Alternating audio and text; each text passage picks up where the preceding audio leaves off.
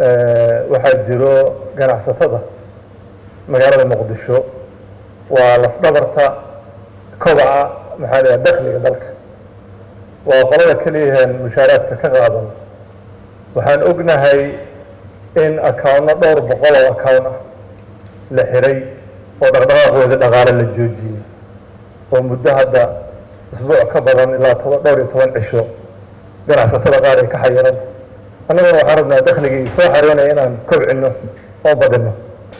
De ganacsade dhaqdhaqaaqii dhaqaalaha uu ka joogsaday oo laga xayiray oo cid uu la xidhiira aan aqoonin oo laleeyahy baaritaana ku socdo.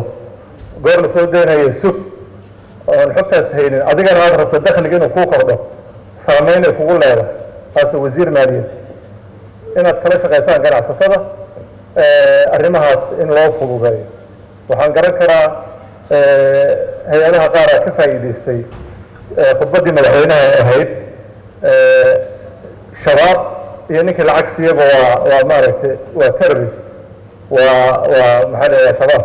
Inuu shabaab yahan u ictiqaadinaynaa taas micnaheeda ma aha in amnigooda aada sugi kartaan mar raba inaad ku fogaadeen arrimahaas xil gaara iska saar wasiir waxayna saameyn ku yeelan doontaa dakliga soo gelayo maxaa kobcii lacagihii aan filaynay mushaaraadkeeni iyo saameyn inay ku yeelataan ka baqayna il gaara u yeelo waxaa kaloo rabay shaqaalaha.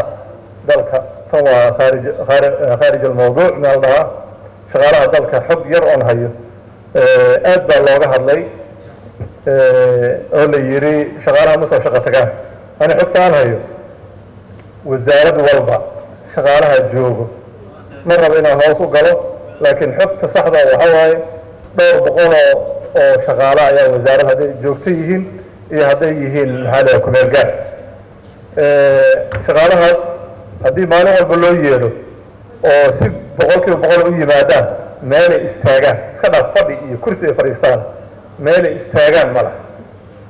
Wasaaradda way ka tan badan yihiin. Marka system in loo sameeyo la tababaro wasaaradda waxay tahay iyo meeshay u socdaan iyo higsigooda la baro kabacdi maxaa la yidhahdaa shaqaalaha dambe ee la shaqaalayn doono criteria lagu shaqaaleeyo. Nin walba meeshuu mudan yahayna hadda lagu qoro. Waxaa loo arkaa shaqaalaha in lagu taarget garaynayo oo maaragtay wasaaradaha